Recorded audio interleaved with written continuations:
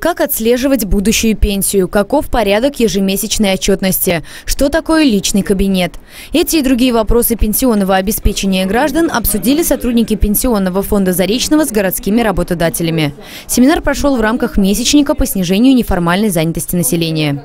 Некоторые работодатели всячески минимизируют официальную оплату труда, производят выплаты по серым схемам, что негативно влияет на значит, э, сбор налогов и взносов в пенсионный фонд.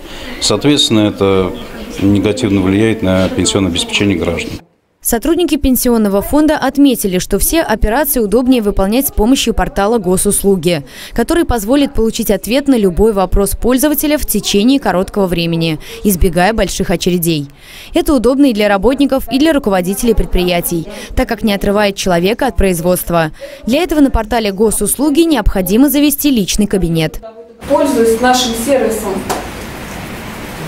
личного кабинета, вы можете формировать будущую пенсию и отслеживать, все ли у вас там в порядке. Куда ваша накопительная часть перечислена? Организаторы семинара сообщили его участникам, что в последнее время участились визиты сомнительных людей в квартиры зареченцев и даже на предприятия. Незнакомцы представляются сотрудниками пенсионного фонда и просят предъявить страховое свидетельство. Таким образом, они пытаются перевести накопительную пенсию граждан в негосударственный пенсионный фонд. Будьте внимательны и не доверяйте незнакомцам на слово. Анна Литвинова, Сергей Путинцев, телерадиокомпания «Заречный».